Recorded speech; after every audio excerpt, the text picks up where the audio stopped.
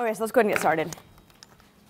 Okay, so we, at the end of the first lecture, we already talked about the, uh, three of our empirical tools. We talked about the gold standard of randomized experiments, which is the case where we'd flip a coin and decide whether you're in the treatment group or the control group, and your assignment to being treated would have nothing to do with who you are, right, and nothing to do with your characteristics. Um, we talked about time series data, where we examine how two series move over time, right? We talked about the problems of time series, namely that uh, in the case of time series, there are confounding factors, right? There are other things changing over time that could be either moving one or the other series, or maybe both series, right? And so we can't control for those time varying factors, and so the time series is sort of often difficult to draw strong conclusions from. We'd also talked about cross-sectional data, where we're comparing across people in a single uh, unit of time, in a single period of time. And we said that the flaw to cross-sectional studies is that um, individuals have sort of a unobservable, individual-specific factor, right? And that if that relates at all to productivity or the x's or the y's, you know, we're not going to be able to sort of disentangle how much of um, whether sort of our x variable is driving our y variable, or if sort of they're both uh, caused by this unobservable individual individual specific characteristic. I think we talked about calling it spunk, right? If there's sort of a you know, you are industrious, thus, thus, you are very productive in the office, and you actually like to work a lot of hours, right? We could sort of see this confounding factor that's the individual specific, unobservable sort of um, component that's driving both of those. There's the flaws with like time series, the flaws with cross section. So what if we put them together? What if we were able to, able to actually see people over time, the same people, right? We would be able to look at them over time, and thus we, would be observing the same person with the same individual specific factor, and we'd get to see different people over time, right? So we have we sort of get rid of the um, the problems of both of these, and that's the idea behind panel data. So uh, panel data with quasi experiments is the notion that um, having two-dimensional data sets, so different people over time, and combination with a quasi experiment, which is sometimes called a natural experiment, which is sort of unlike our lab experiment, right, where I flip a coin and I decide whether you're in the control group or the treatment group, and then I expose you to UV radiation or whatever it is, and then uh, figure out what happens to you, right? That's the controlled lab experiment. We're actually going to use some kind of naturally occurring experiment. Um, an example of this um, that uh, could be uh, if we wonder, right, a question like um, what's the effect of military service on earnings, right, in later life? Most most of the time, you know, people aren't. You can't just randomly assign people to the military, right? It's a voluntary force. People select into the military, and so there might be some individual specific component, right? Some unobservable individual characteristic that makes someone more likely to volunteer for military service and potentially more or less productive in the labor force, right? And we can't sort of compare cross-sectionally because of that that selection problem. But there, you know, most recently people have sort of been selecting into the military, right? It's a, a choice. But there was a time not so long ago where it was kind of random, right? The draft lottery, right, of the Vietnam War. So an economist used the draft lottery to sort of look at the effect of military service, which was more likely if you had a low draft number, or if you had a draft number that was called, right, versus not, and looked at the effect of military service using the natural experiment of the draft lottery. Another natural experiment could be um, a charter school lottery, right, where the charter school, for its own purposes, runs a lottery to determine which of the students who apply to be in to, to go to the charter school gets a, gets a place. And then an economist could come in and use that lottery to then assess the effect of attending the charter school on educational outcomes or on um, juvenile crime or whatever outcome they wanted to study. These are natural experiments. Most, some of them are sort of random and naturally occurring, like, uh, like the draft lottery, or um, there's a study on the effect of schooling on earnings, where the authors use your quarter of birth as a source of natural variation because um, so in most states you can leave the school system on your 18th birthday, but you know if you're born in October, it means that you can leave very early in your senior year versus if you're born in April, where you get most of your senior year before you can drop out. And so they use your quarter of birth, which is sort of random about you, to, to, to sort of measure the effect of education on earnings, right? Because if you're born later, you get a little more education. It has nothing to do with you. It's sort of just a factor when you were born. And they use that to sort of assess the effect of education on earnings. There are a million caveats, and if you want to talk about them, we can, you can come to my office hours, we can talk about them. Yes, quarter of birth may not actually turn out to be entirely random, right? Like people in different socioeconomic groups with differently time pregnancies And um, this is an estimate also that's coming from people who drop out of high school, right? This is not the average student in high school. It's an estimate that's based on the decision to drop out of high school or not. So there are lots of caveats, but that's another natural experiment. The natural experiments will most likely, most, most economists or most studies use, are policy natural experiments. That some state or some county changes a policy, and it has nothing to do with the people in that state, presumably. You know, it's not timed in any way. It just sort of comes into effect at that particular point in time. And you compare sort of the group that was treated, the group that was subject to the policy change, before and after the policy change, compared to some similar group of people that serves as your control, and that's the natural experiment.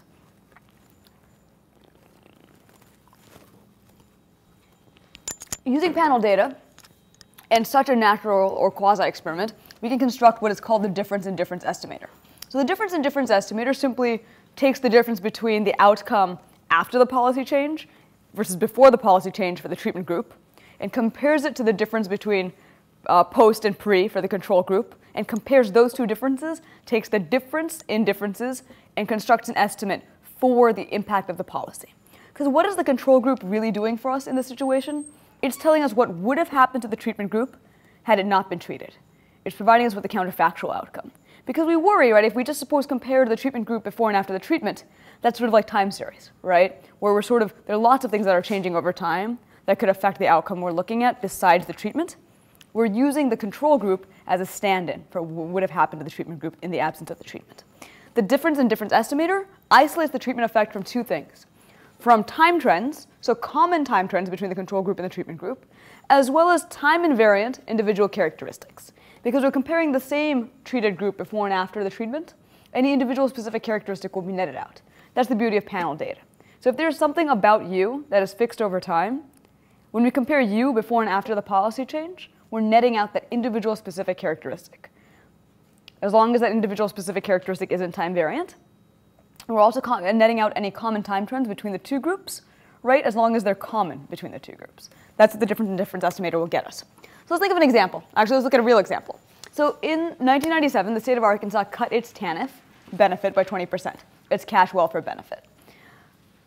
In Louisiana, benefits remained unchanged. I'm going to argue that Arkansas and Louisiana are fairly comparable states. They're you know, in the same region, they have similar sort of poverty levels, they have similar uh, traditions, and et cetera, et cetera. I'm going to tell you Louisiana is a good stand-in for Arkansas. So we're going to ask the question, what was the effect of this policy change on labor supply? Our treatment group is going to be women who are affected by the, by the reduction in TANF benefits in Arkansas, i.e. single mothers, right? Those are the sort of main recipients of cash welfare. So our treatment group is, is single mothers in Arkansas. Our control group is going to be single women in Louisiana. The difference in difference estimator will show us how much did the labor supply of single mothers increase in Arkansas between 98 and 96 relative to Louisiana. Okay, let's go ahead and pull together some data. So this is some data on the average hours worked by single mothers in these two states in the two years. Recall the policy change happened in 1997, so we're going to compare a year after the policy change to a year before the policy change. So in 1996, women in Arkansas worked um, an average of 1,000 hours a year. Single mothers worked an average of 1,000 uh, hours a year. In 1998, they worked 1,200 hours on average per year. So women in Arkansas, single mothers in Arkansas, increased their labor supply by 200 hours on average. If we just compared the treatment group before and after, we would sort of erroneously draw the inference that uh, the change in TANF benefits led to a 200 hour increase in average hours worked. But let's see what happened in Louisiana. Over the same period of time, hours worked on average went from 1050 to 1100. So in Louisiana, there was this increase in the number of hours worked. If you think about it, it makes sense, right? 1997 was a time of sort of economic expansion, and sort of just comparing across time would confound the effect of the policy change with sort of the effect of the economic expansion, with the effect of various other things that happened, right? So we're losing Louisiana as a stand-in. So we're going to say in Arkansas there's a 200-hour increase, it, but in Louisiana there's a 50-hour increase. Presumably, when constructing this estimator, what I'm saying is that presumably Arkansas would have experienced the same 50 hour increase had we not had the policy change. So, of the 200 hours that were worked extra on average in Arkansas, we're going to say 150 of them were due to the policy change, and 50 would have happened anyway, as they did in, Ark- as they did in Louisiana. So, we're going to take the difference across time for both of these states. So, the 200 is 1200 minus 1000, the 50 is 1100 minus 1050. We have 250, and then 200, and then 50, and we're going to take a difference again we're going to subtract the 50 out of the 200. Our difference in difference estimator tells us that the increase in labor supply due to the reduction in TANF benefits was roughly 150 hours. Was 150 hours. The treatment effect, plus other things going on, is the time series comparison within Arkansas. Other things going on is what we get out of Louisiana. So subtracting off the Louisiana change from the Arkansas change, we isolate the treatment effect. That's the notion. So that's an interpretation that the treatment effect of the, of the policy change was 150 hours. But are you 100% convinced that this is a causal relationship? That this policy change drove this hours increase? Maybe, maybe not, right? You'd want to see some more evidence. For example, you'd want me to tell you and prove to you that Louisiana really is a lot like Arkansas, right? Maybe, you know, one piece of evidence could be that, you know, in 1996, before the policy change, they were pretty similar, right? Single mothers seem to work very similar numbers of hours in these two states. But then again, you know, it could be true that these two states were on different trends during the 90s. Perhaps economic expansion affects uh, well, I think of Louisiana as having sort of a, a strong fishing economy, right? Fishing and shrimping, et cetera, et cetera. Well, Arkansas has sort of um, a large kind of hog and chicken industry in Arkansas. So if somehow economic expansion in the late 1990s created differential sort of demand for seafood versus uh, poultry and the other white meat, right? We would see different effects in these two states over this time period. In other words, if these states are on different trends, Louisiana is in fact not a good stand-in for Arkansas. So you'd want me to prove to you that these trends, these two, two states were actually on the same trend. And you know, you'd, you'd also ask, right? Well, maybe Louisiana didn't change its TANF benefits, but maybe they changed their housing policies, or their child care benefits, or their food stamp benefits, or their Medicaid benefits. You'd want me to show you that nothing else was going on during this period. Uh, question over here, Matt?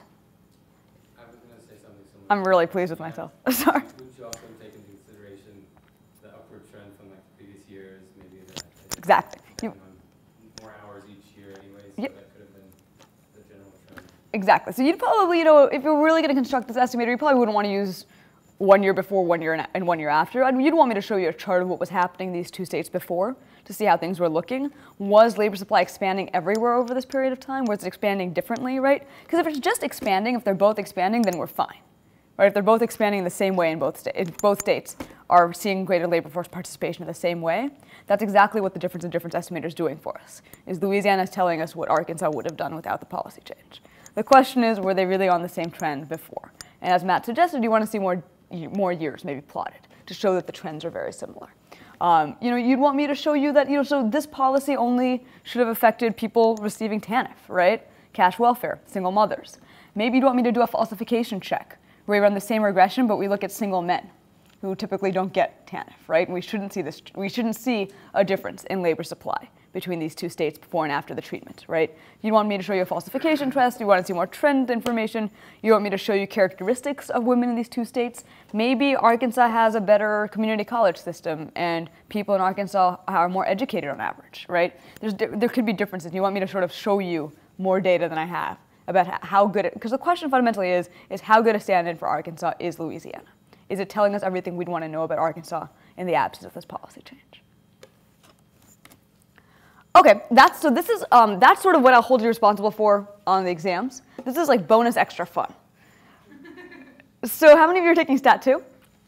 Lots of you. Awesome. Okay, so this is a regression approach to the difference in difference estimator. So I want to go back a couple slides for a second. Remember, Arkansas before and after gave us the treatment effect plus other stuff that was happening. Louisiana gave us the other stuff that was happening, right? That's the other, that's the idea. So okay, let's look at this regression framework. Can you guys, oh, you guys have in front of you. Can you read it okay? Okay, so the constant is just gonna give us sort of the mean, okay, so our left-hand side variable is number of hours worked, IJT, by individual I in state J in year T. We're gonna have a constant, that's just gonna absorb the mean number of hours right across the two states. And then we're gonna have three variables. The first is a Arkansas dummy. It's turned on if the state you live in is Arkansas. If you live in the state that cut TANF benefits, the treatment state. Then we have a, a dummy variable y, which is a dummy variable for it being 1998 in the post period. It equals 1 if it's a 1998 observation. It equals 0 if it's a 1996 observation. Similarly, the state dummy equals 1 if it's Arkansas. If this individual lives in Arkansas, if that observation lives in Louisiana, it's 0. And then our last regressor, our last variable, is s times y. So that would only be turned on if the individual lived in Arkansas and it was 1998, right? If it was Arkansas 96, it would be turned off because the Y would be zero, right? And if it was Louisiana 98, the S would be zero and that would be turned off. Okay, so let's think of a person, it's 1996 and they live in Louisiana. S would be zero, Y would be zero, interaction will clearly be zero. So none of the variables would be turned on in that case. Let's think of a woman who lives in Arkansas in 1996. What's the only variable that would be turned on? Which one would equal 1? Only S, right? Because 96, the Y is a dummy for being at post for it being post 97. Y would be 0, and thus the interaction is 0. If it's a woman in uh, 1998 in Arkansas, all three would be on, right? Okay, got it. So I'm going to tell you, if I wanted to know the average number, so the number, average number of hours worked by a woman in Arkansas in 1998 will be the sum of alpha, right? Alpha tells us the average of everybody, plus the impact of being in Arkansas, so S1 is on, so plus beta 1, plus beta 2, because it's a post year, it's 1998, plus the interaction, because that's on. The average number of hours worked in Arkansas in 1998 will be alpha plus beta 1 plus beta 2 plus beta 3. The average hours worked by a woman in Arkansas in 96. So alpha will be on, it's on for everybody, right? But in 1996, y is 0, so the interaction is also 0. So only thing on is beta 1. So the number of hours worked by a woman in Arkansas in 96 would be alpha plus beta 1. Similarly, a woman in Louisiana in 1998 would only have y turned on, right? So the average number of hours she worked would be uh, uh, an average. The average number of hours worked by a woman in Arkansas in 1998 would be alpha plus beta 2, because the only variable turned on, right, is y.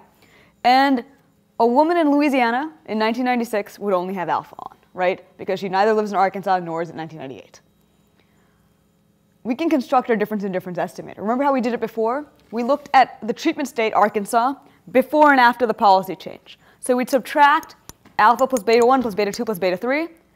We'd subtract alpha 1 plus beta 1 from that. What would we be, we be left with? Beta 2 plus beta 3, right? So just keep that sort of on the side of your mind. Let's difference out the Louisiana experience. Alpha plus beta 2 less alpha is beta 2, right? Alpha plus beta 2 less alpha is just beta 2. What did we have over here again? What was our net difference? Beta 2 plus beta 3, right? Minus beta 2 gives us beta 3. So the treatment effect can be read off this regression by just looking at beta 3. Because that's the additional hours worked, right? That's the effect of being both a treatment state woman in the post period. 98 is on, Arkansas is on. The interaction variable will give us our treatment effect. You can construct the difference in difference estimator in this regression framework. What does this regression framework let us do that this sort of differencing system doesn't let us do? Could we, suppose we know things about the individuals in these states. Our panel data has stuff on like uh, their education levels and um, you know their heights and et cetera, et cetera. We might want to control for that stuff, right? Can we do that in subtraction? No, right? There's no way to control for stuff in subtraction. Doing it in a regression framework getting this treatment effect out of a regression framework allows us to add a set of characteristics, add other variables to the regression. And that's the strength of using the regression framework. Have you guys covered this at all in Stat 2? Not really, right? Not, but you will. You will. You'll get to it. Um, so this I will not test you on. This is just fun and extra, uh, extra fun bonus stuff. But um, the, uh, the stuff before the slide you will be responsible for. Okay. Any questions about difference in difference estimators?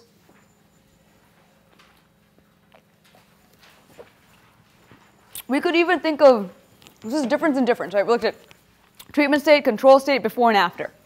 But what was the group of people affected by TANF benefit changes? Single women with children, right?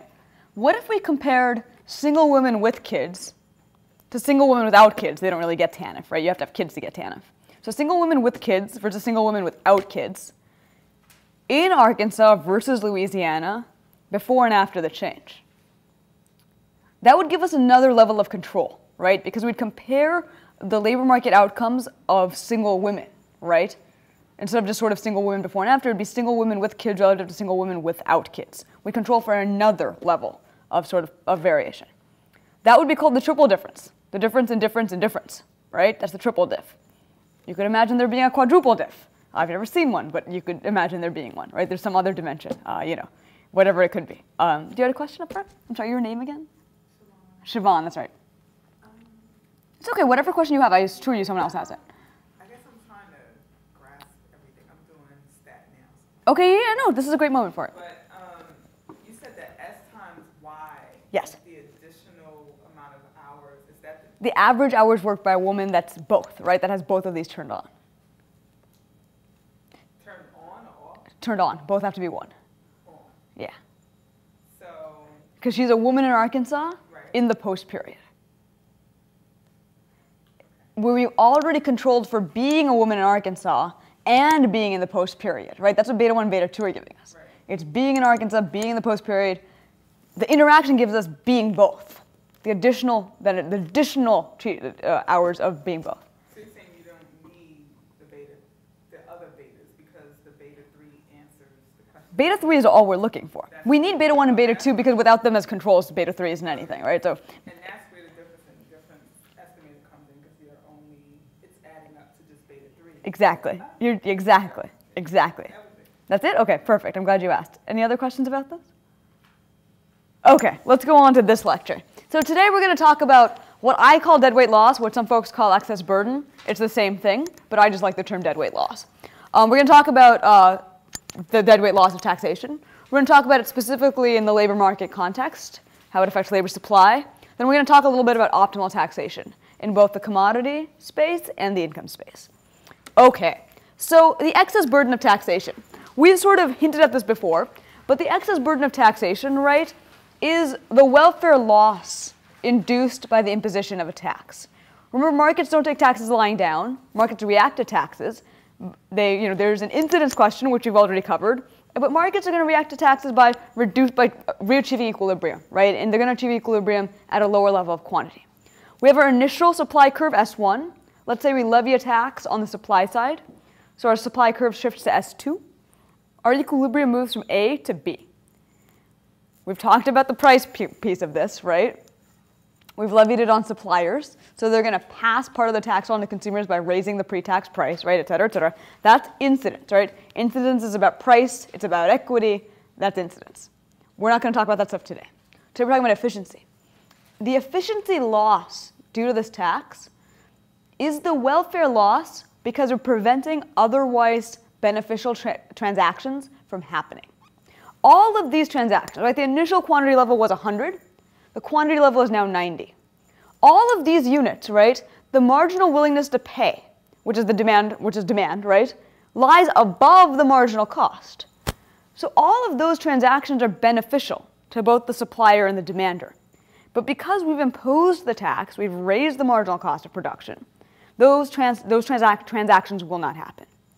And the value of each of those transactions, the social value, is the difference between the marginal willingness to pay, marginal benefit, and the marginal cost.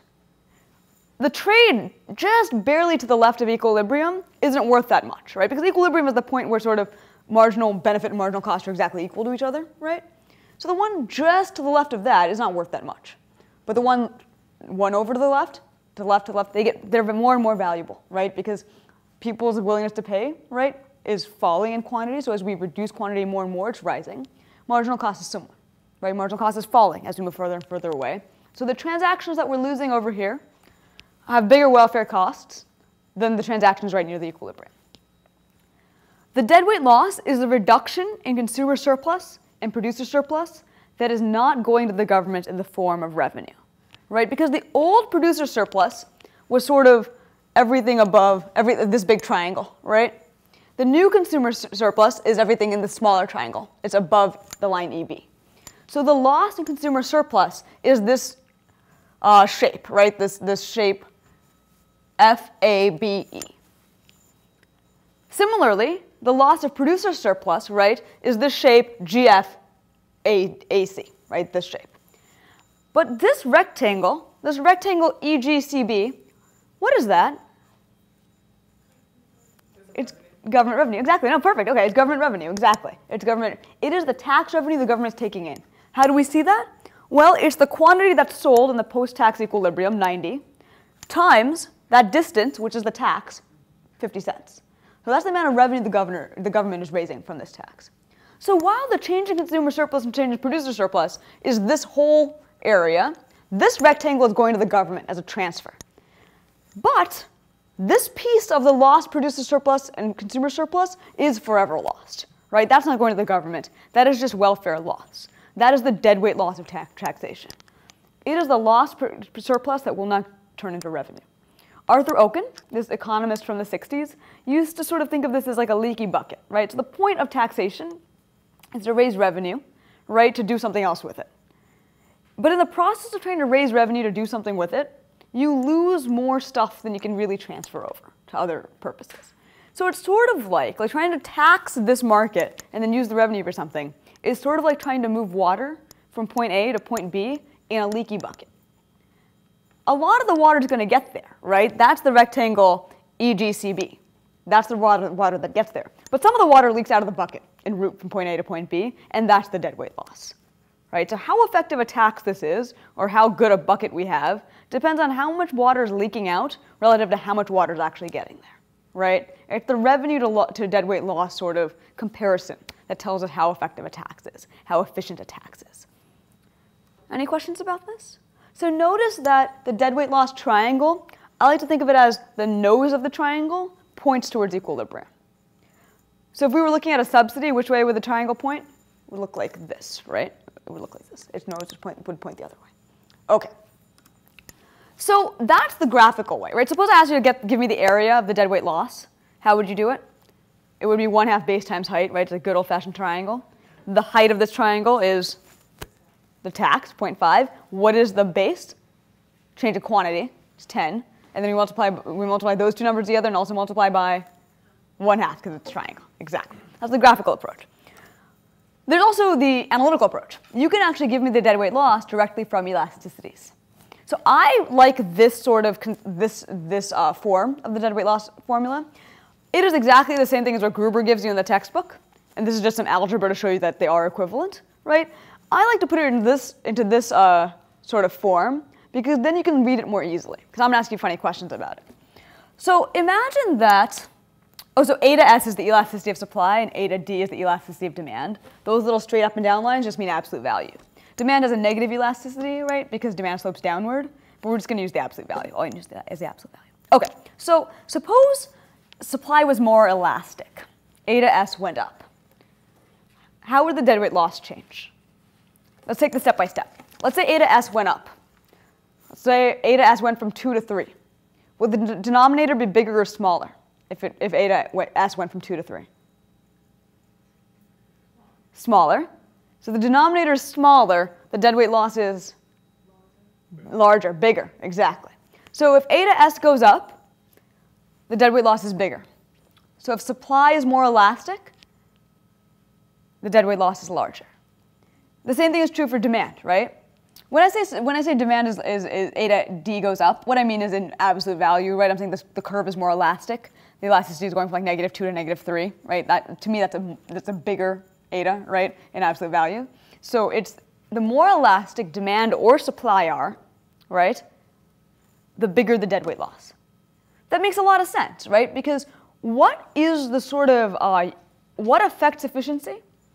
It's how much, how many transactions aren't happening, right? Elasticity simply, simply means that for a given price change, we get a bigger quantity change i.e., if we impose the same tax in the more elastic market, right, in the market with a more elastic supply or demand curve, we'll have a bigger quantity decrease. The change of quantity will be larger. That makes perfect sense. More transactions won't happen, the deadweight loss will be larger. The deadweight loss is also a function of the tax. Here, tau, we're going to be talking about specific taxes in this class. So tau is something like 50 cents or $2 or whatever it is. So how does deadweight loss depend on tau? It's quadratic, right? which means suppose I double the tax, what's going to happen to the deadweight loss? It'll go up by, if I double the tax, the deadweight loss will go up by four times, right? Right, because it's quadratic.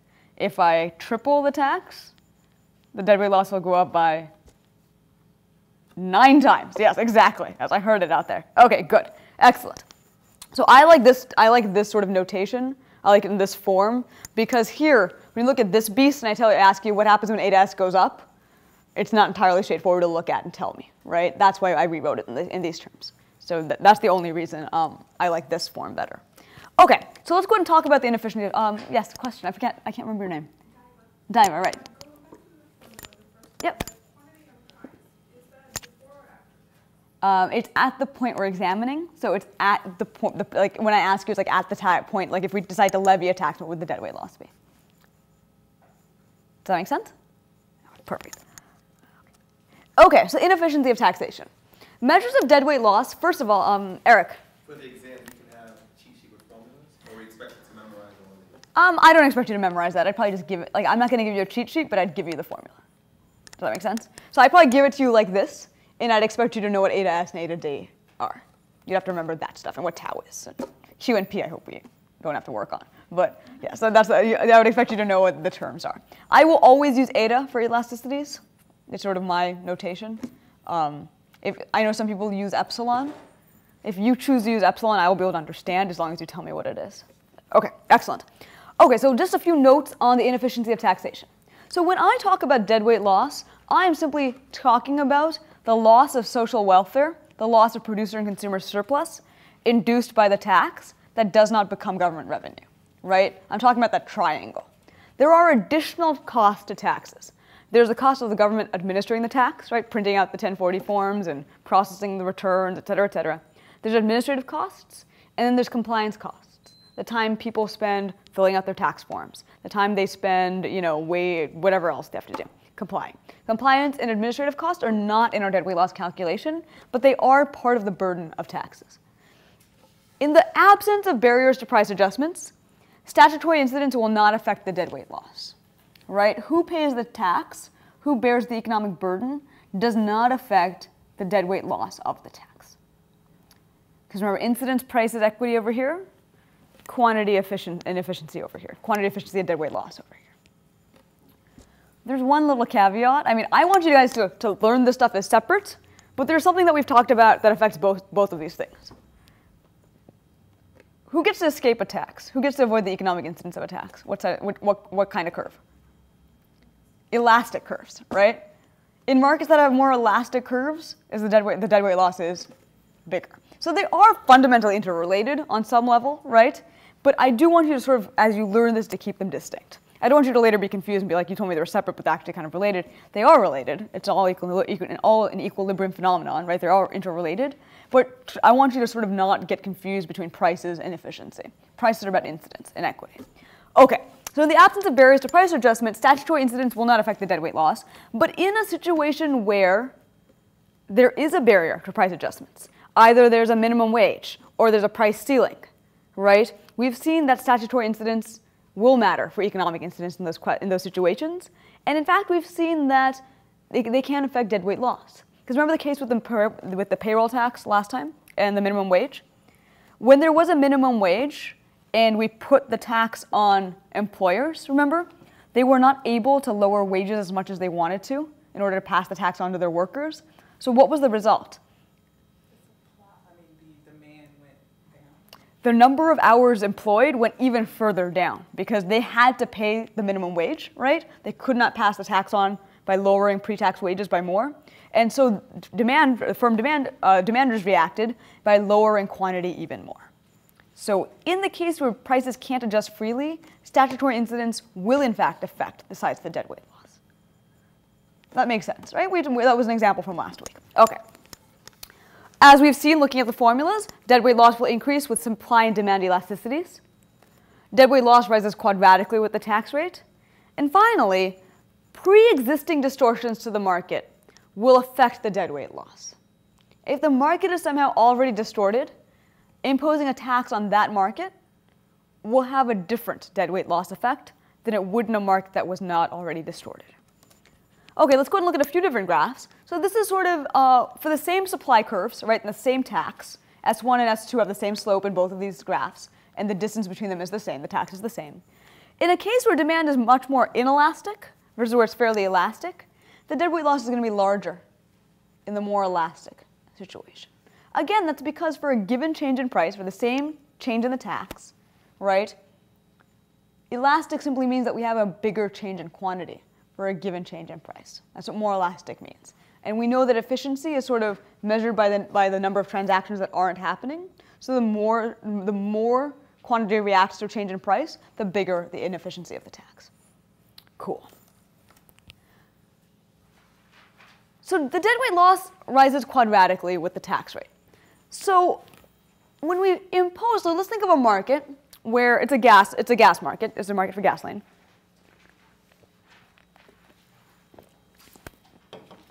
So we have our initial 10 cent tax. Our initial 10 cent tax shifts our supply curve from S1 to S2, triggering, triggering the deadweight loss, BAC. Right, that's our initial 10 cent tax. Suppose we impose another 10 cent tax. We know, looking at this graph, I, you can tell me that the change in quantity from Q1 to Q2 will be the same as the change in quantity from Q2 to Q, Q3. How can you tell me that? Because I'm imposing the same tax twice, they're both 10 cents. And what's true of these supply curves and demand curves? The slope is constant.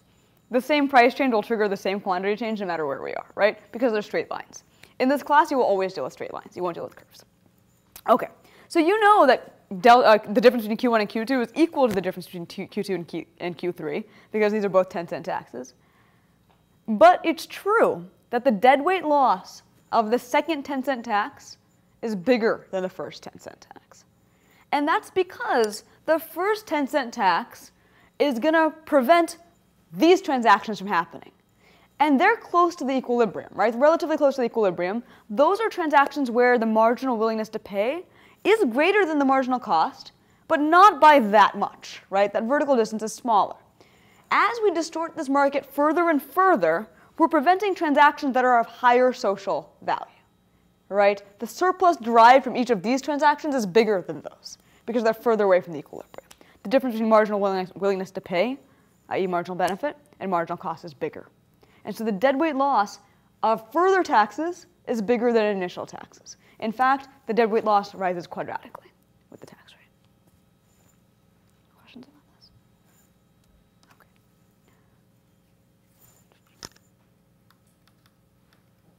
Okay. Okay.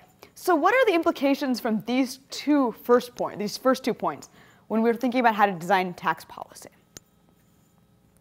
Well, we can see, right, from this graph, we can see that if we have two goods, right, imagine they have the same elasticities. So when we're talking about how do things vary with the tax rates, we're going to keep the elasticities constant. When we talk about the elasticity, we're going to keep the taxes constant, right? We've done this so far. In this graph, when we looked at different elasticities, the taxes were the same, the two graphs. Here we're comparing different taxes. We're talking about the same elasticity of, of supply, right? Okay. So if we have two goods, rather than taxing one at 20% and the other at zero, if they have the same elasticities of supply and demand, we're better off taxing them both at 10%. Right? That's what we learned from the fact that deadweight loss rises quadratically with the taxes, with the tax.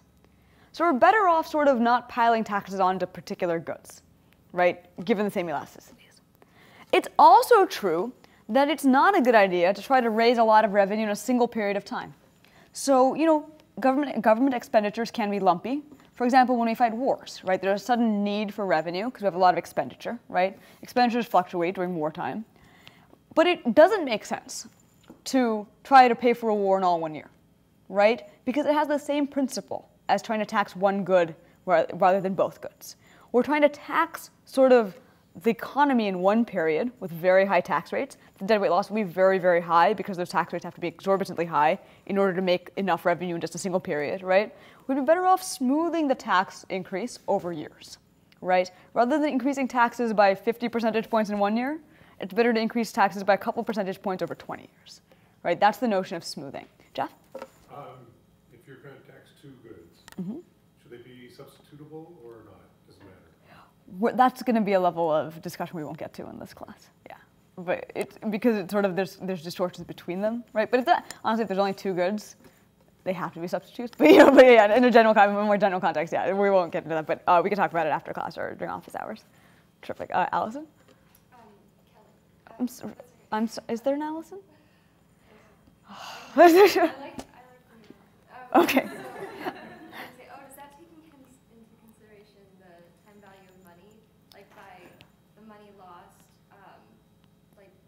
even in real dollars. So suppose we were already uh, de deflating the future into today's dollars, right?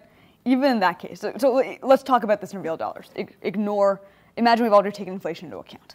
So suppose we need, let's see, uh, what what do we need? We need, let's say we need uh, 200 billion dollars for some for some war that we were thinking about fighting, okay, or we have fought and we need to pay for.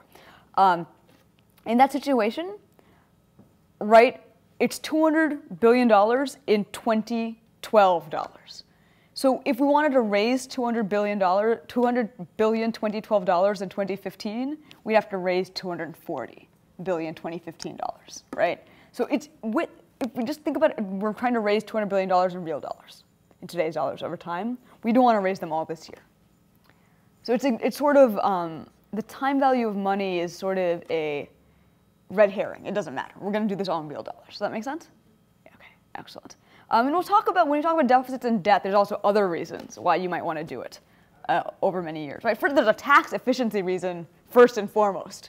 But, um, you know, there's also sort of uh, benefit matching. Governments aren't, aren't cash flow economies, right? Uh, cash flow are sort of budget situations. When, you know, um, when, when the greatest generation fought World War II, one could argue that we're still benefiting from that today, right? Like a free Europe benefits us today, right? And so there's some notion of matching the benefits to the costs, right? So we should probably still be paying for, we should, we should help pay for that war too, right? It would be very strange to have the example of the greatest generation fighting that war, right? And losing life and limb, and then also coming home and paying for the war, right? That's like a very, that's, that's sort of, that makes that, you know, there's a, there's a benefit that accrue over more than maybe two or three years to some enterprises. Um, but this is, that's not, that's not even this, that's an issue for later in the term. This issue here is simply that we want to tax smooth. You want to tax smooth over goods, you want to tax smooth over time. Because sort of the economy in different periods is sort of, you know, like a good in a sense, right? Okay, it's, it's, it's, it's like a tax base, right? You have tax bases of different goods in a single period of time. You have tax bases of sort of economic activity in different periods of time going forward. Okay, cool. Okay, pre-existing distortions. So markets are sometimes distorted to begin with, right? They're not achieving competitive social optim socially optimal equilibria initially. For example, there are markets where there are positive externalities. For example, the vaccine market, right, has a positive externality. In which case, so if there's a positive externality, what do we know about the private market? The private equilibrium is going to do what? Relative to the social optimum, this private optimum will underprovide the good, right? There'll be too little of the good provided relative to the social optimum. Because when private individuals make consumption decisions and producers make production decisions, they don't take the, the positive externality into account. They're going to just look at their private benefit and, and sort of allocate their budgets accordingly. So the private equilibrium will underprovide a good with positive externalities. So there's already sort of a missing cue.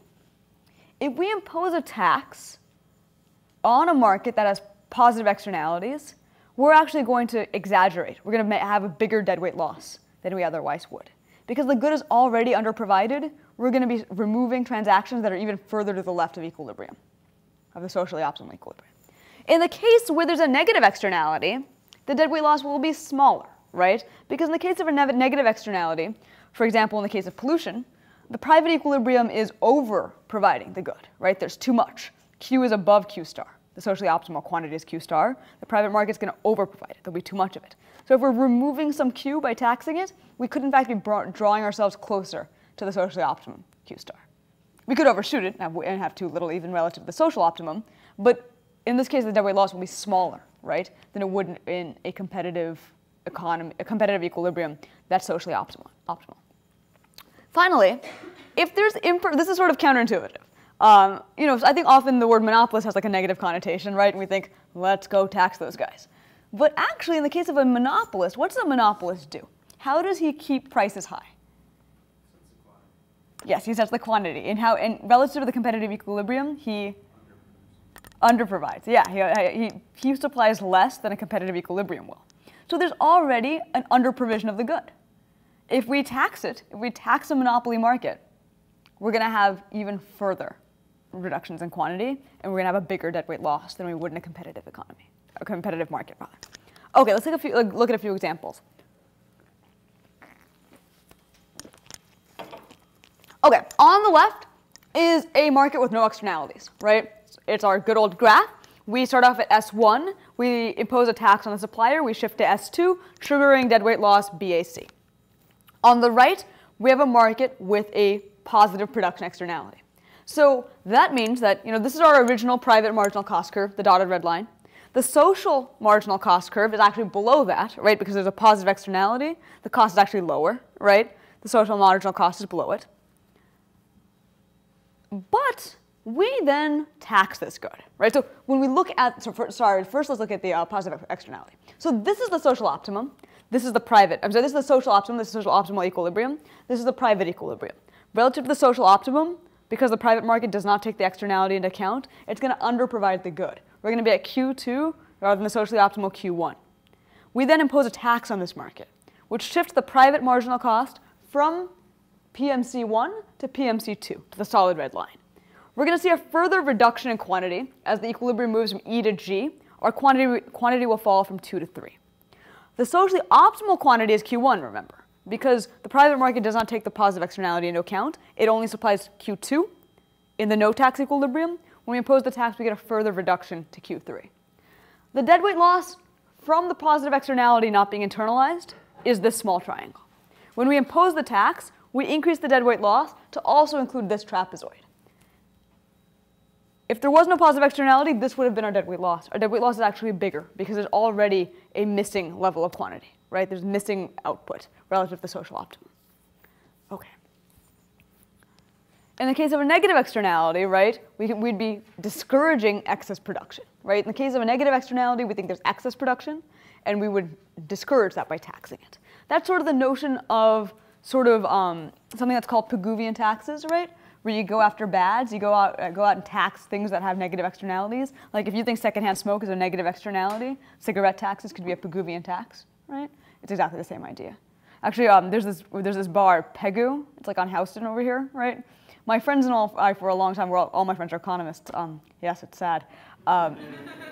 For a long time, we used to call it Pigu, right? Like Pigu is so Pigu, the Pigouvian tax is named for this economist, Pigou, and we used to call it Pigu.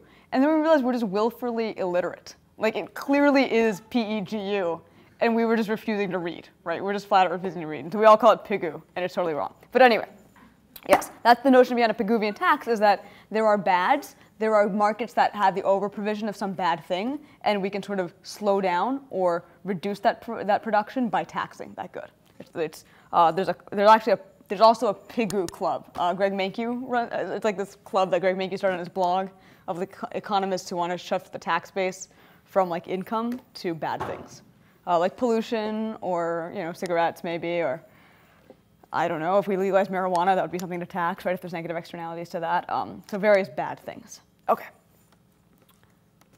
Okay, so taxes and labor supply. So okay, that's that's what we're going to talk about when it comes to um, excess burden and deadweight loss. So I'm going to actually take a minute now for you guys to think for a second and see if you have any questions about this stuff. Yes, uh, Siobhan. No, no, it's great. I, I promise you, other people have them. So I remember before you said that they're under providing. providing. Because a social optimum is where social marginal cost equals social marginal benefit. So that's going to be point D. Right. The private marginal cost, though, is higher than the social marginal cost.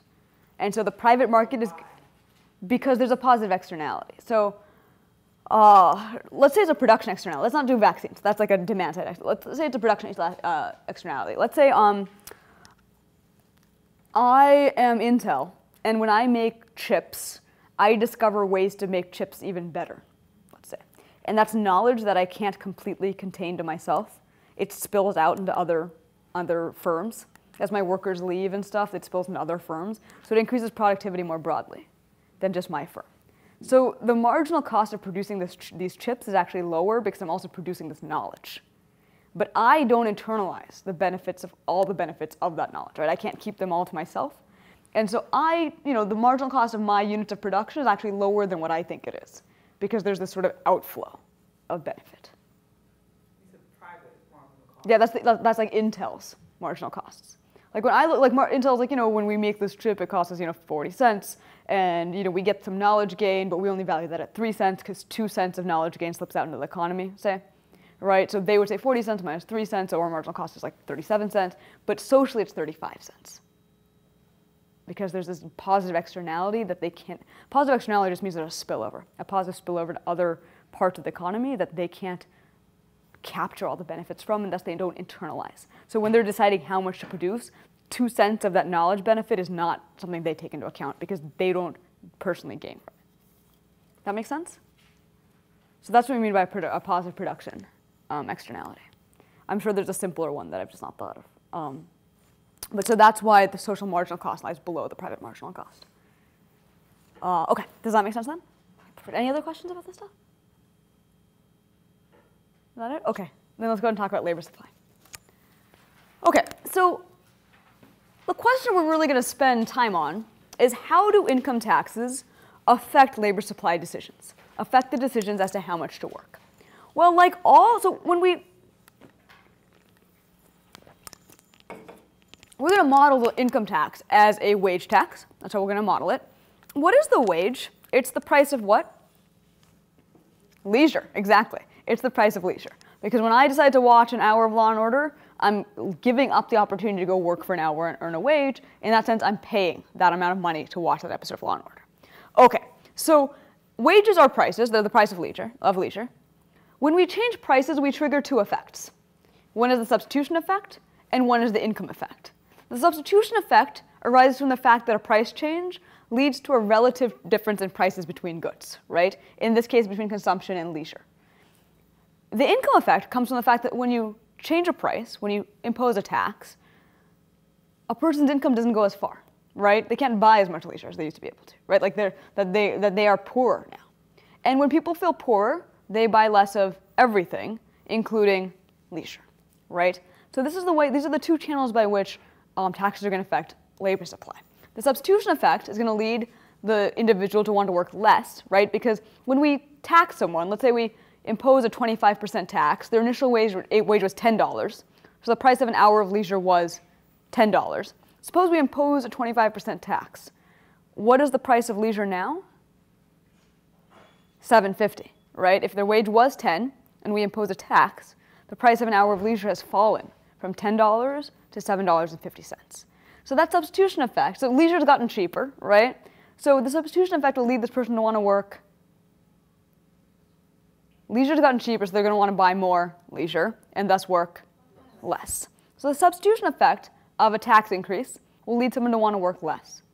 The income effect, though, right? So we've decided we've imposed this tax. They're poorer. They're going to buy less of everything, including leisure. So they're going to want to work more. So the income effect will lead them to want to work more. The substitution effect will lead them to want to work less.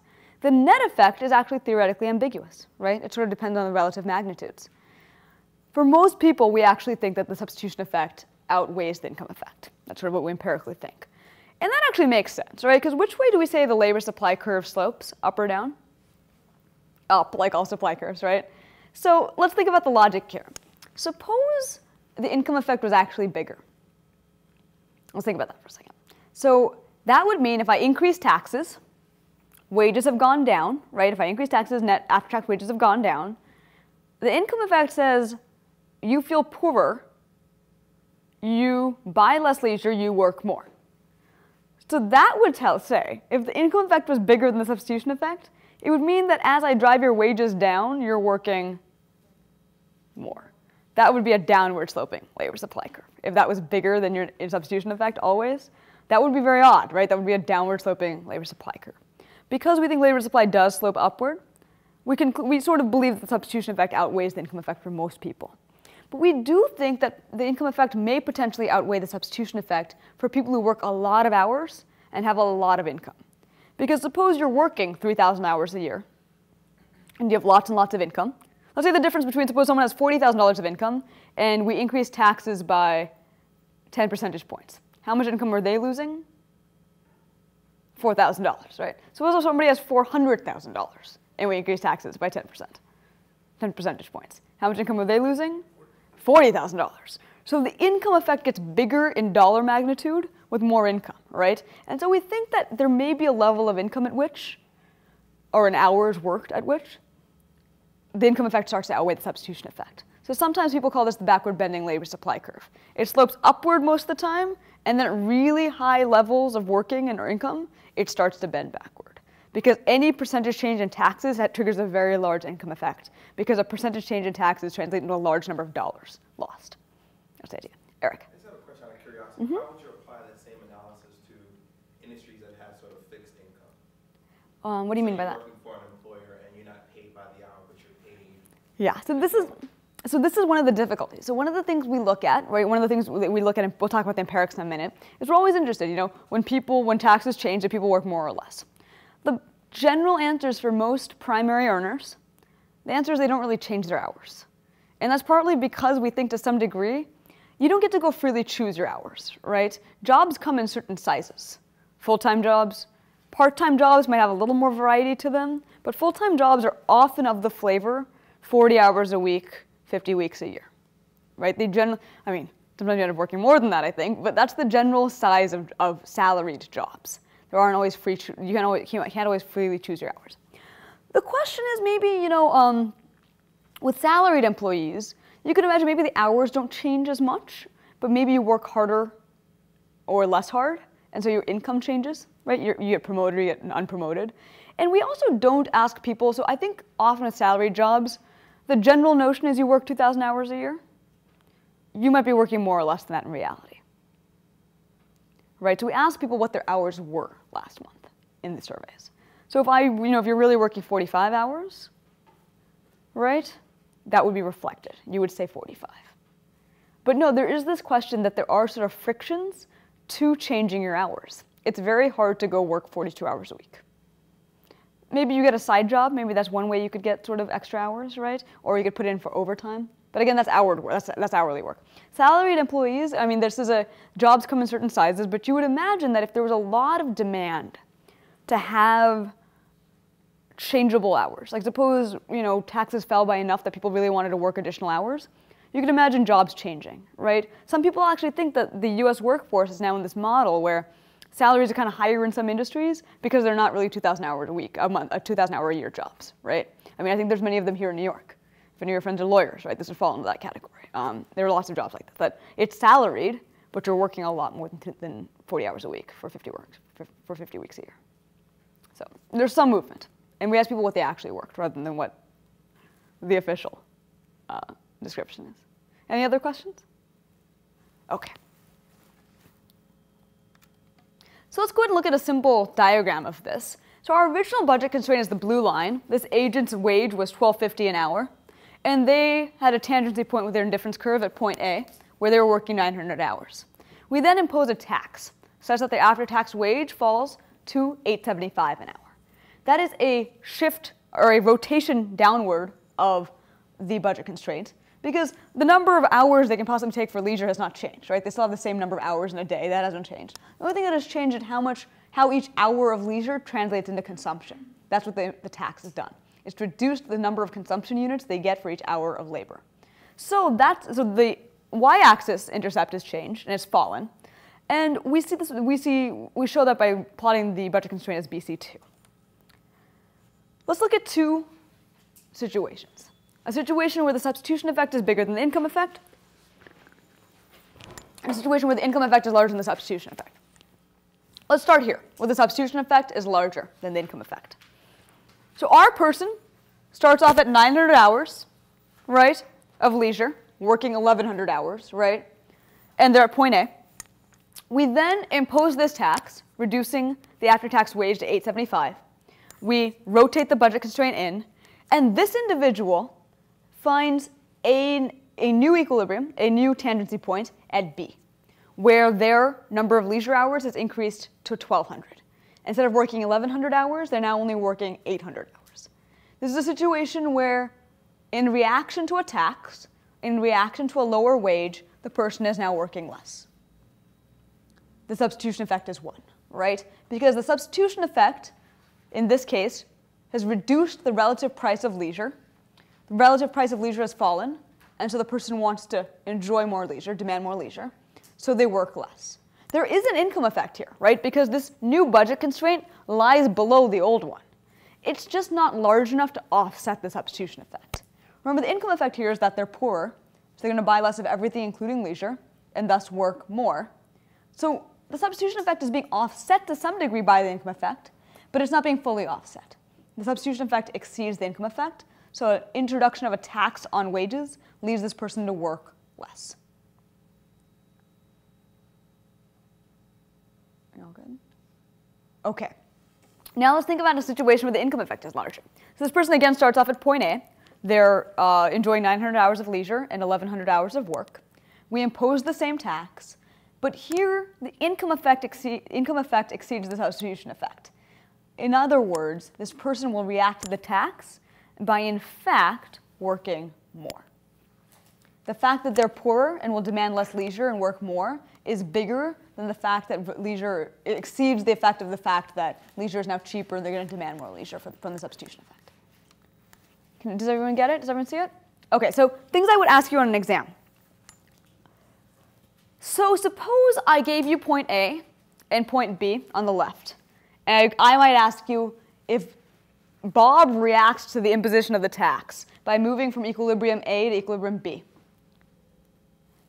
Does his substitution effect exceed his income effect, or does, his income effect exceed his substitution effect?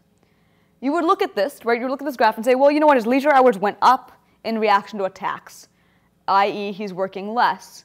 That tells me his substitution effect is bigger, right? That would be something you could infer. It could also be, you know, I could give you, suppose I didn't give you point B or the indifference curve, right? I just gave you point the, the blue indifference curve and point A, and I drew the red budget constraint, and I told you We've imposed a tax. The new budget constraint is BC2. For Bob, his substitution effect exceeds his income effect. What could be a new tangency point on BC2 for Bob?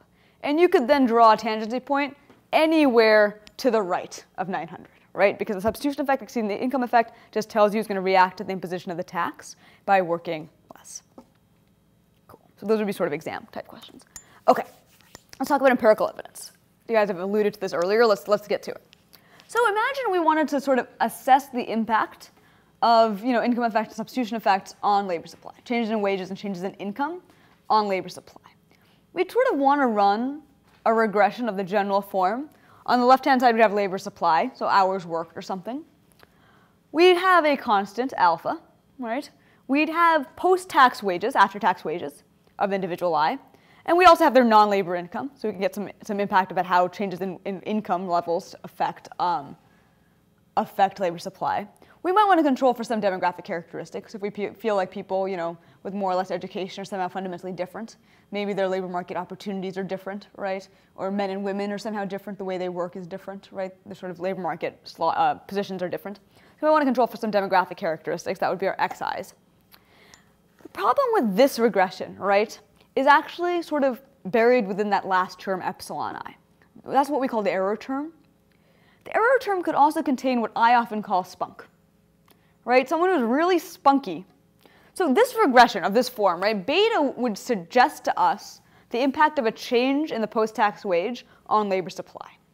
But I say that this, way, this regression naively run is in fact kind of dangerous because epsilon subsumes within it the spunk factor, as I call it the fact that there are folks, right, some folks out there, likely in this room, in fact, um, who are sort of just industrious, right? They're like hardworking.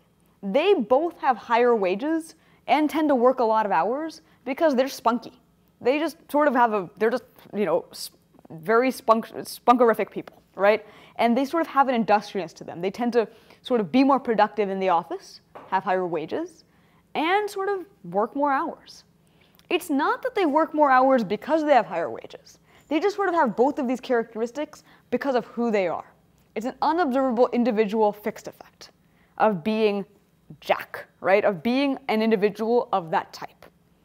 There are people who sort of don't really like work. They have a, they have a taste for leisure, right? I don't think, you know, that's their, their individual uh, utility functions, whatever it is, you know, no judgment about it. And they may not like work at work, right? When they're actually at work, they may be low productivity. It's not that they work few hours because their wages are low. These two things are both driven by the fact that they just sort of have different tastes, right? So there's an individual specific effect that comes from our preferences on some level that could be contaminating this regression, giving us a false sense of the relationship, the causal relationship between after-tax wages and hours, because part of that relationship is actually due to sort of confounding factors, spunk that you sort of have people who have high wage, high hours sets and low wage, low hours sets. They're not caused by each other, they just come together. Just come together. In that case, suppose we naively ran this regression, not thinking about spunk. because we have these people who have high wages and high hours just by sort of a fact of who they are, and low wages and low hours by, fact, by a fact of who they are, we would be exaggerating the causal relationship. Beta would be too high, right? It, we, would be think, we would be interpreting that as, oh, high wages lead to high hours, when in some cases it's just they come together. There's sort of a package deal for some people. And so this regression sort of naively run could be really dangerous. So what do we do? What do we do when the cross section is sort of not helpful because there are these individual specific factors? We look for random experiments, right? Something that changed somebody's after-tax wage that doesn't have to do with the job they selected, right? That doesn't have to do with who they are and their preferences. One such example that was used was called the negative income tax experiments. So this was, um, like many things that sound very liberal, was something that Richard Nixon was really into in the 70s. Um, and the negative income tax is sort of a predecessor of something we'll talk about in a minute called the EITC, the Earned Income Tax Credit. The negative, in so what do most ta income taxes do? They take a piece of your wage, right? It goes to the government in the form of taxes. The negative income tax experiments were an attempt to help low-income Americans by subsidizing their wages. So they earn $10 in the market, and they get $4 from the government. It was a way to sort of redistribute towards low-income people while strength, strengthening their labor, their labor supply incentives, while helping them work more, right, to have greater attachment to the labor force. That was the notion behind them. And the way they were rolled out across different states was actually kind of, uh, it helped facilitate research. They had them in some states and not in other states, and sort of it was randomly timed, and et cetera, et cetera. So that was one source of after-tax variation that was used to sort of assess the impact of after-tax after-tax wages on hours, right? That was one source. Another, another study that people, another tax people have used is um, the Tax Reform Act of 1986, which remember we looked at the rate structures before and after different tax cuts. If you recall, this one lowered the top marginal rate from like 50% all the way down to 28%. And it didn't have as much of an impact at sort of the lower end of the income scale, right? And if you recall from the example in the book about Barack and Michelle and Bill and Hillary, right? uh, couples that have um, a primary earner, earner and a secondary earner face sort of higher marginal tax rates than, than couples that have similar earners, right? So TRA 86 lower tax rates sort of for secondary earners more than sort of general earners, right? The secondary person in, working in a, in a spousal in a spouse couple. So uh, you can look at sort of you know, or, or no, sorry, this uh, this is sorry, forget that.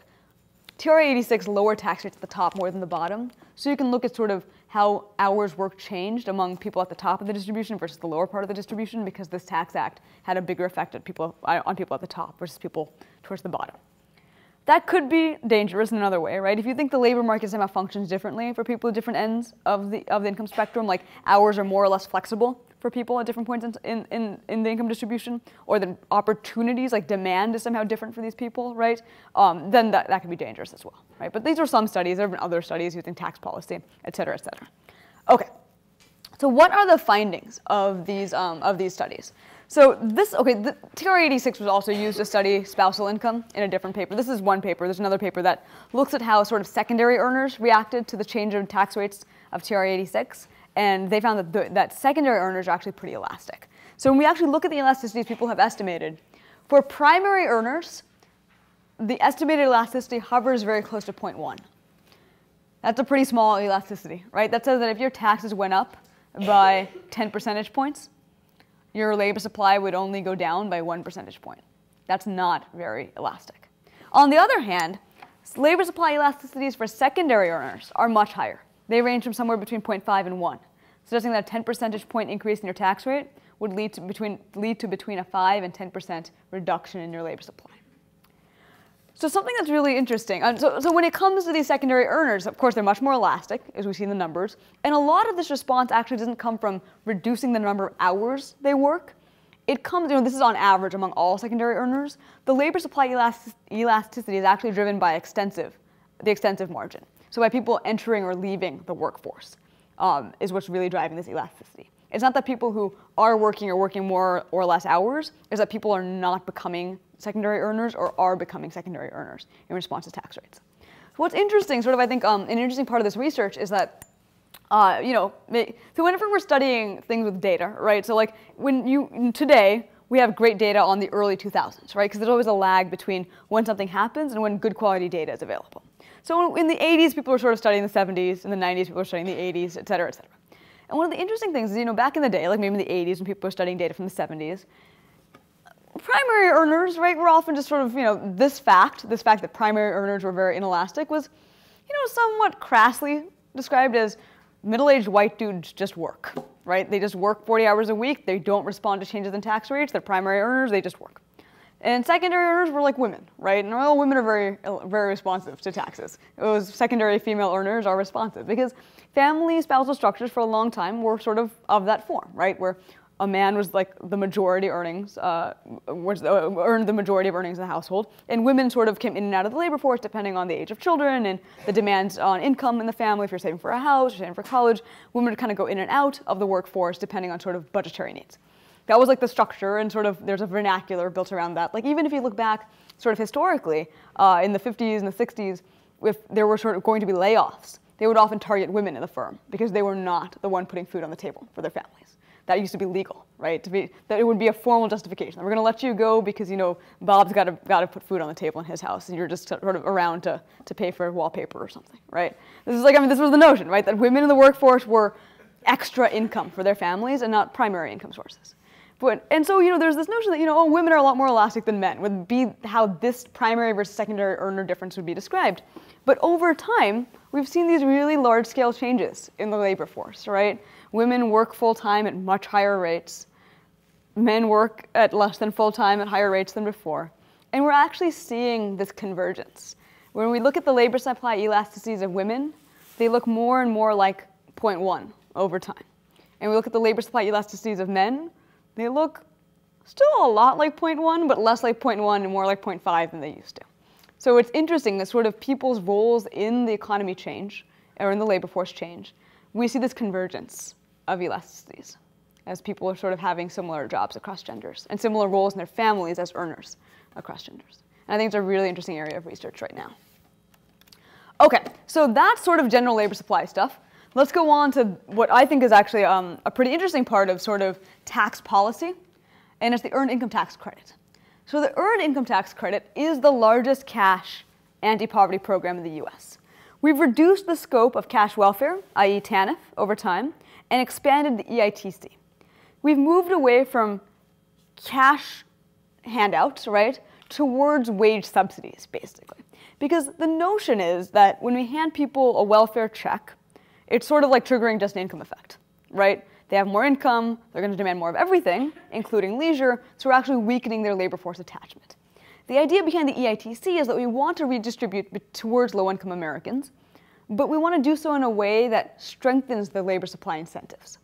So, what the EITC does is it sort of provides a federal wage subsidy for wages earned by an individual who's low income. So the goals of the EITC are again to redistribute resources. Redistribution is a key goal of the EITC. And the second piece of it is to sort of strengthen labor supply incentives or to increase labor supply. So the way it works is that, um, so the EITC, you can get the EITC if you don't have children, but it's really, again, uh, targeted to families with children. So you get a subsidy from the federal government for every dollar you earn, depending on how many kids you have, these, these limits are different, to a certain level. Then you get the maximum amount of credit you can get for your number of children. For a while, you can keep earning income and not lose your benefit, your EITC credit. But after a certain interval of earned income, you start to lose a fraction of your benefits, a fraction of each dollar in terms of benefits for each dollar you earn. Sort of like the phase out of TANF that we talked about. Until your benefit is entirely gone, at which point you're sort of no longer EITC eligible. Okay, so what are these levels? Let's go through it. Let's start down here.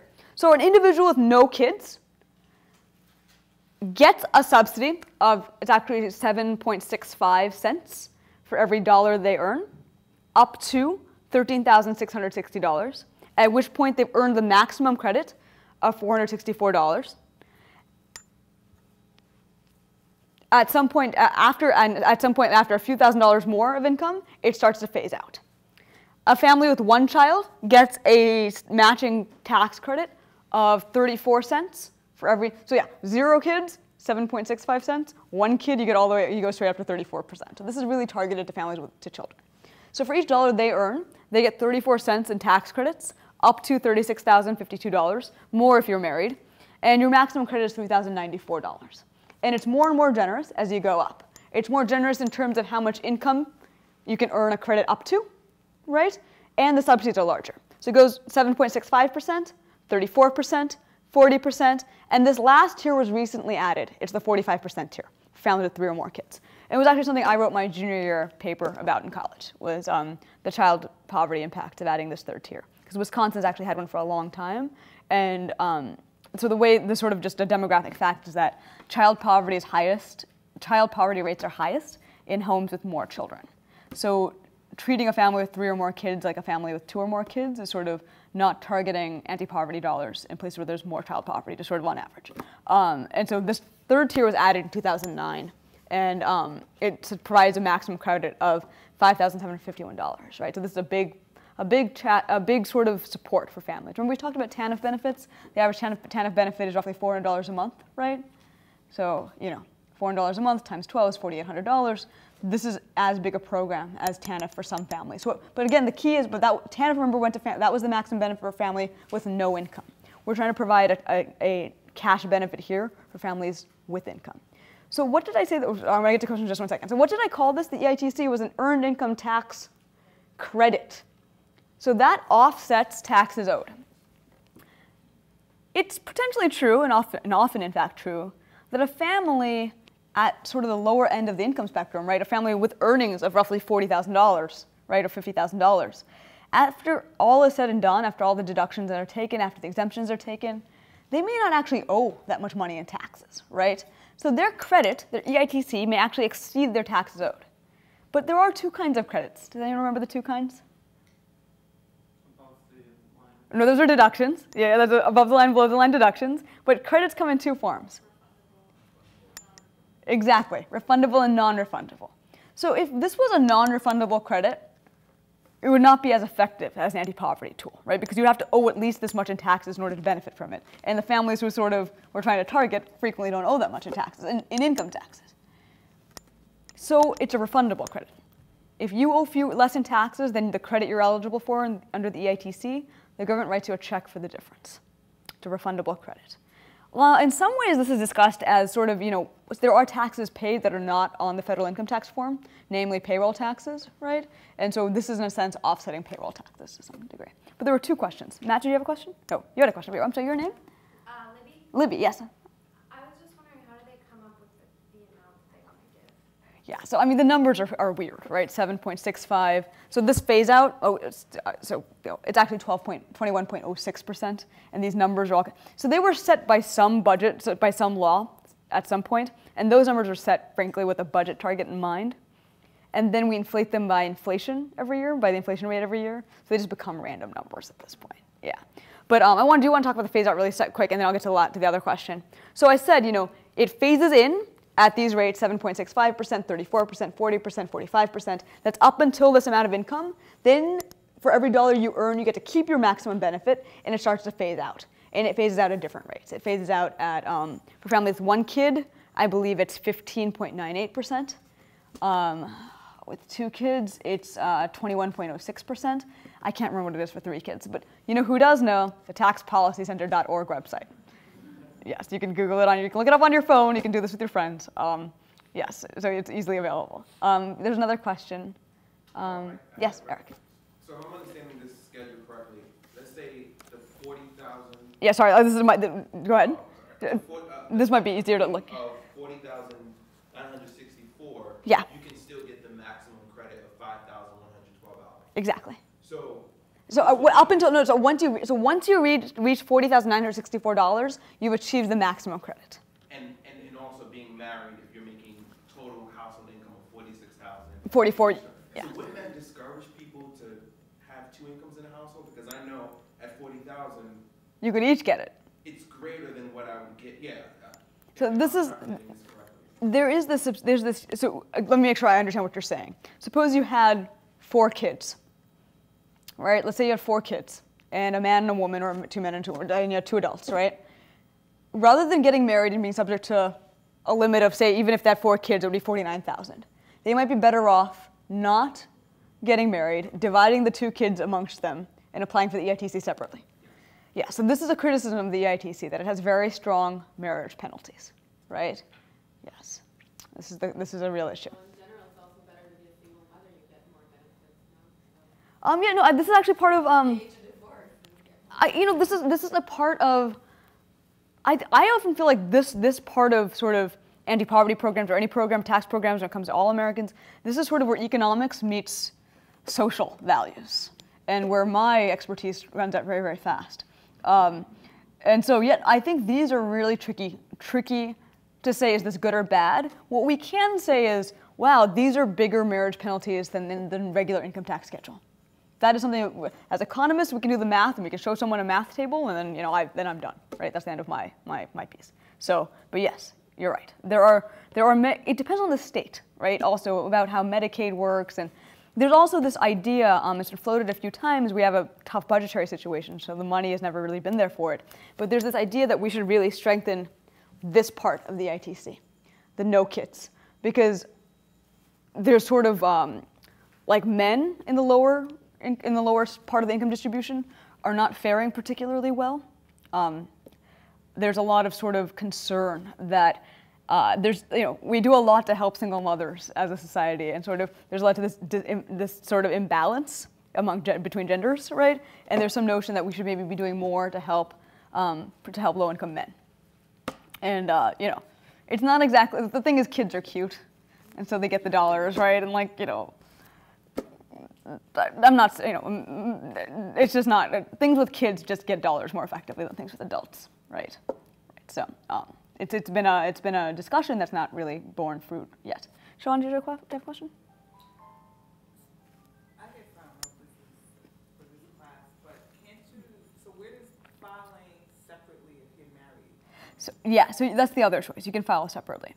Um, you file separately, then, then it can work where. I think so. You know, I'd have to double. Ch- you know, I can't remember. There are differences between not being married at all and filing separately. I have, to, I have to check. This is like one of the things I should know and I don't know off the top of my head. But it's a good question. I'll get back to you about it because, you know, like while I'm talking to you, I'm also thinking about stuff, and I was thinking about this. I was like, there's somehow a difference between actually not being married and married and filing separately. I think I'll double check. I'll look it up and I'll, I'll email you guys. Let you know next week.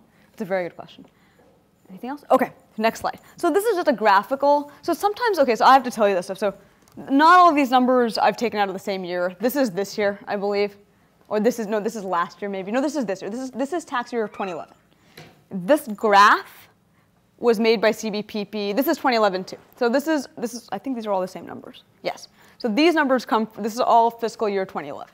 So this is nothing but a graphical representation, right? Because what are we what are we looking at here? Let's look at any one of these. Let's look at this sort of um, blue, this medium blue um, piece of it, which is for a family with two kids, right? So they get a subsidy of 40 cents on every dollar earned up until they've maxed out the credit of $5,111.12. They can continue earning income, right? And go ahead and keep that full benefit until they hit this point over here, and then they start the phase out and it phases out at 21.06 cents for every dollar they earn after that limit, after the end of the, of the, the flat horizontal line, until they get to an income level where they've, they've completely exhausted their EITC benefit and they're no longer EITC eligible. Okay, so we had a wage subsidy, then sort of no subsidy, but to get to keep the credit, then you start losing the credit. Right? This is a little bit like TANF, what we looked at with TANF. Okay, of course, you know, we look at this, of course, what am I gonna ask you to do next? Translate it into a budget constraint, right? Okay, let's do it. Okay, so our blue line is our original budget constraint. I've used a slope of 20. I'm going to be honest, that's a higher wage rate than a lot of EITC eligible um, families sort of actually receive. Um, and so we'll just use 20 as a wage rate for, for, for kicks. Okay, so that's our initial blue line. Then we're going to sort of model the EITC schedule. So there's an initial piece where we're subsidizing, right? Suppose this was a family with two kids. I said the phase-in rate, the subsidy rate was 40%, right? So what's the slope of this line going to be? 1.4 times 20 is also known as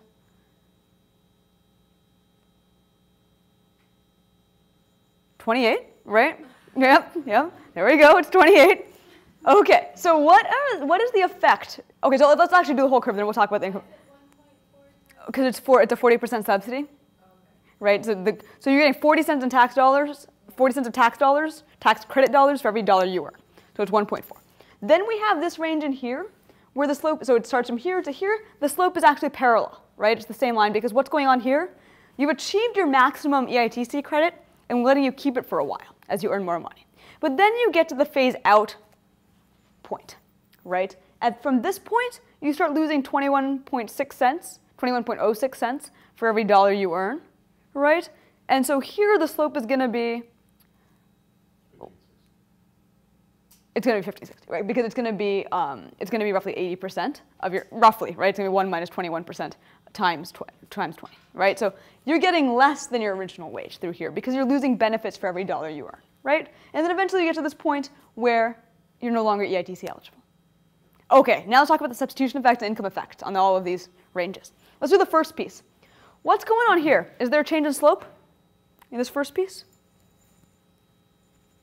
Yeah, 1 to 1.4, right? So there's a change in slope. And okay, so is leisure now more expensive or less expensive? Leisure is now more expensive, right? Because the opportunity cost of watching Law and Order has gone up, right? It's 40% higher, in fact. So is that going to want to make you uh, buy more leisure or less leisure? Less. So you're going to work, due to the substitution effect, you'll work more. Are you richer or poorer than before? You're richer, which makes you want to buy more of everything, including, so you're going to want to work less. Okay. What's going on here? Is there a substitution effect? The slope's parallel, right? Because that's the point where you get to keep all the money. You get to keep your full credit. So there's no slope effect, right? There's no substitution effect. You're at your original wage rate. But there is a income effect. You're richer, so you want to work less because you want to consume more leisure. And in this range, is there a substitution effect? Yeah, there's a slope change, right? Leisure is now relatively more expensive or less expensive than before. We're, okay, so when you make these comparisons, between, you're always comparing between curves, right? Between budget constraints and not across pieces of the same budget constraint, right? You're doing this comparison, not this comparison. Okay, so let's compare. Let's look at this segment. So now you're in this piece now. Is your slope uh, flatter or steeper than before? Flatter. Leisure is now cheaper. You're going to want to consume more leisure, so you're going to want to work less. So the substitution effect will lead you to want to work less in here. Are you richer than before or poorer than before? Richer, so you're going to want to work less.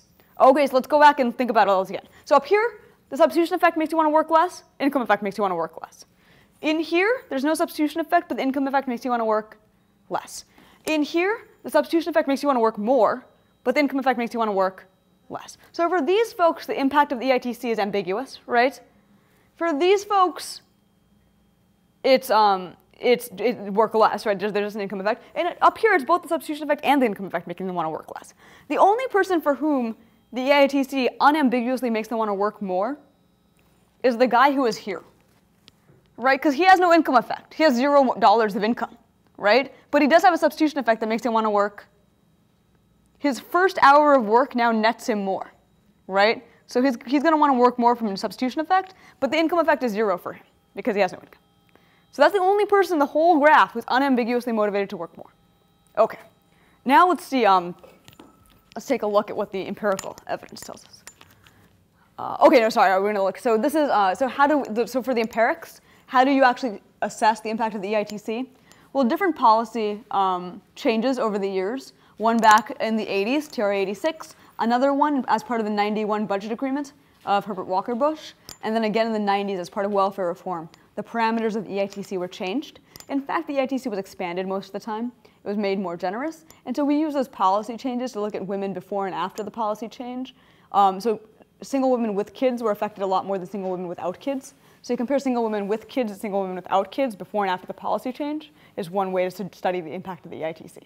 Okay, so what have we found? There were a lot of studies about the EITC, and a lot of them up until very recently had very, very good news. So it looked like a lot more women started working. They were pushed into the workforce by the expansion of the EITC. We just went through how, for most people who are working at all, right, given that they were working, the impact of the EITC is sort of ambiguous at best on, on hours worked. For many people, it's to decrease hours worked. Shockingly, the expansions of the EITC, they have pushed women into the workforce, into, into working, but they oddly have not had a real effect on hours conditional on working. Odd, right? You know, I can't tell you why exactly that is, but you know, I could imagine there being a story that when someone hears about the EITC expansion, they know it pays more to work now than it used to. So they might want to join the workforce and start working. But as you know, that graph was hard for us to draw, right? Let alone think about without the graph, right? For if you were sort of thinking about how much you work, it could be a little complicated for someone to figure out exactly how many hours to work to maximize their EITC. It could also be, like we talked about with, with many people, that jobs come in particular sizes. It's very hard to tailor your hours to, ma- to maximize your EITC benefit, right? So it just could be that somehow it's actually complicated to do and difficult to actually do, um, to actually adjust your hours in light of the EITC. For whatever reason, we don't see an hours difference. Very interesting. Um, we do see some reductions in labor supply among married women, right? Because those women are more likely to be in that phase out range if they're married, right? Their spouse is providing some income, right? And so they're more likely to be in the, in the phase out range. So that's the one place we do see some hours changes is married women. Um, fathers really have no effect. Uh, we see no change in fathers, right? For whatever reason, men don't seem to really, um, in, in households that, that have, uh, where people, where there's a father and a mother, we don't see the men reacting to the EITC very much. It could be that somehow they're less productive at home, so the opportunity cost of them working is somehow lower, right? Um, they could just work different kinds of jobs, right, where their hours are far less flexible, so they can't change their hours at all, right? There's, there's, you know, it's, it's difficult to, to sort of sort it out from the data we have, but this is sort of the pattern of things we found. Um, there are some newer studies on the EITC that are suggesting that it may not be quite as effective as we think it is. Um, there are these researchers who have a very large universe of tax returns, and they're finding like certain patterns of sudden self-employment that seems to vary in this way that, you know, if your neighbors do a lot of it, you do a lot of it. That seems a little odd. You know, there's some interesting patterns that they're finding. Um, that stuff is really pre- preliminary, but there's sort of a new wave of EITC research that's being done now that maybe suggests a- story that isn't quite as rosy as the old story. Um, and that stuff will come out sort of in the next couple years, I think. Something to look forward to. Okay. I want to talk a little bit about optimal taxation. Jesus, okay.